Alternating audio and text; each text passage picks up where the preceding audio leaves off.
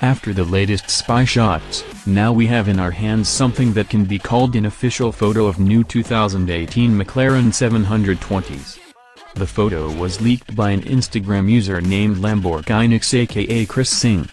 We can't say how did he get his hands on it or did he took the photo but the 720S looks nothing short of amazing.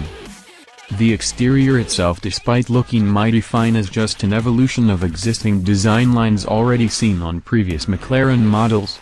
Looking at the front end, you will notice triangular headlights that give this vehicle an extra dose of menace.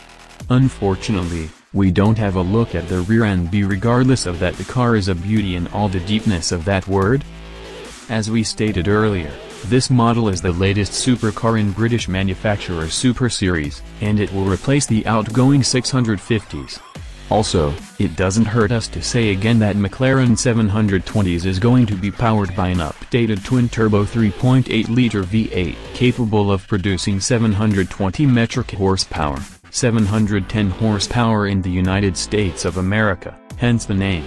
Some other sources stated that the power could come from an all-new twin-turbo 4.0-liter V8 which was allegedly developed for 720s. This engine would be able to work with McLaren's new modular system. This info was nor confirmed nor denied by the Woking-based company. All of the information will be known after the 2017 Geneva Motor Show from 9th to 19th of March, where the 2018 McLaren 720s is going to be presented.